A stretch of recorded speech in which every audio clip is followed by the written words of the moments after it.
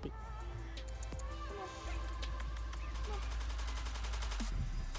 Yeah, and there's all the shit.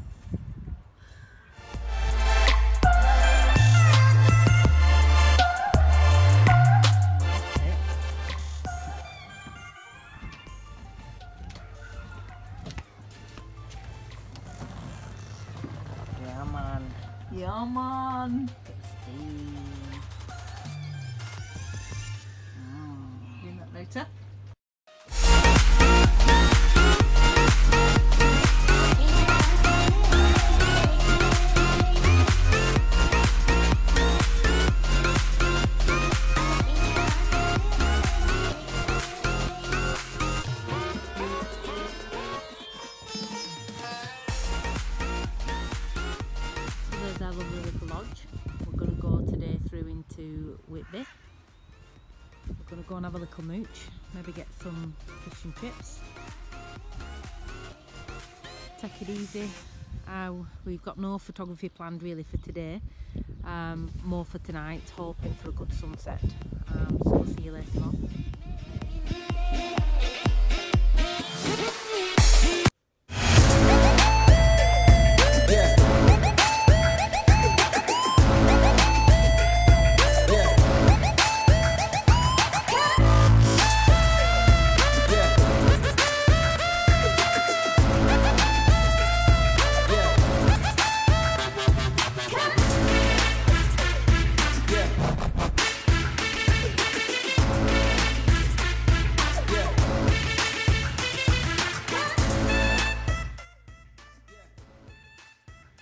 Hello from Hornsea.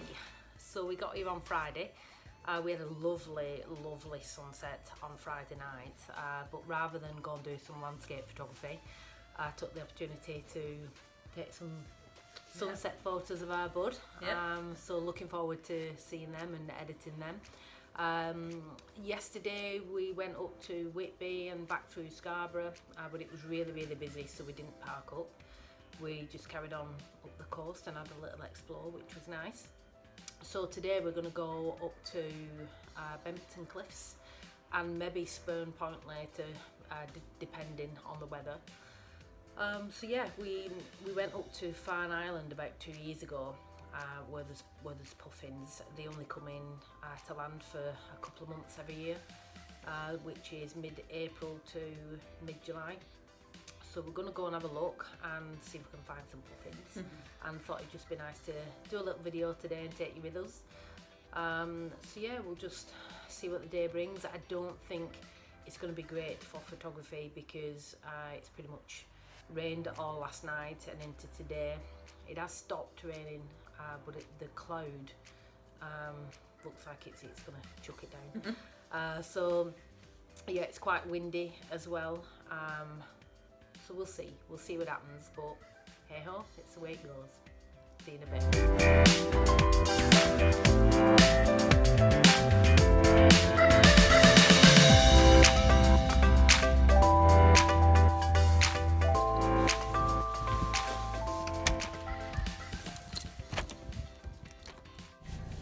Look at that. We just got in the car and it started to rain. Boom!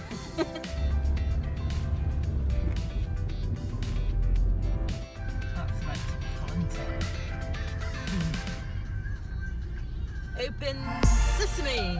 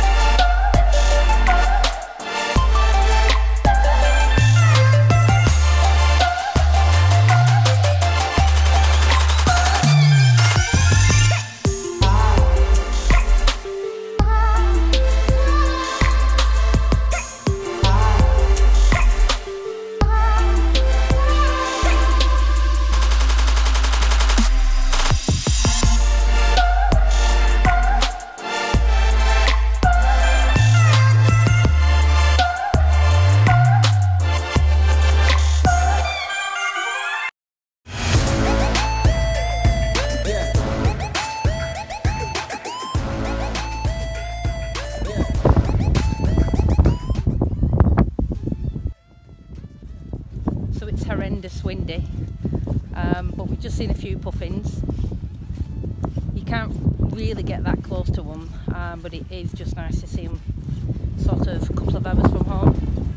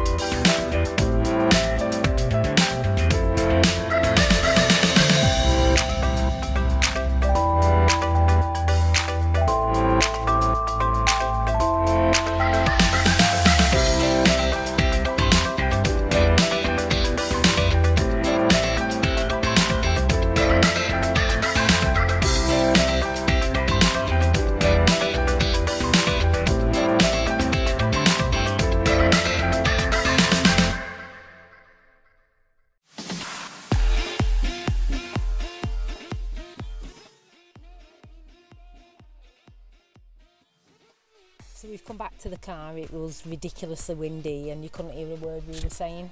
Um, but yeah, it's, it's nice to see the puffins. Really, we saw them up at Farn Island a few years ago, and they were really, really close, um, sort of almost within touching distance. But you can't get that close here. You can see them over the cliff, sort of uh, flying in and, and flying back out.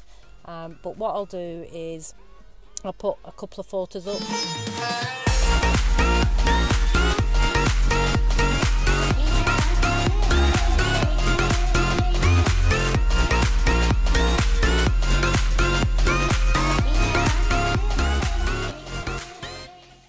Just so that you can see the puffins up at, at Farne Island, which is in Northumberland. Um, but yeah, they they're just lovely. They they're sometimes called sea parrots and sometimes called sea clowns, and that's because of the the colour on the beak.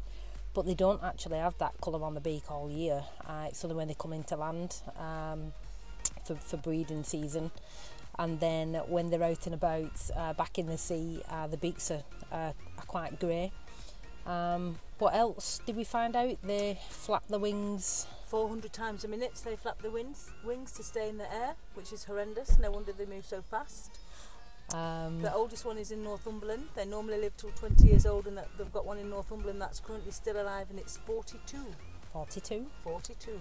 Um, so yeah, we, we're going to um, have, a, have a bit of something to eat and mm. then go over to uh, Spurn Point. Um, so we'll see you later on. Adiós. Adiós.